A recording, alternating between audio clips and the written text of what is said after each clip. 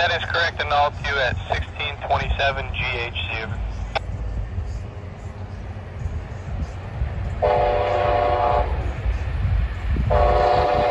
That's correct. That's the only change right now.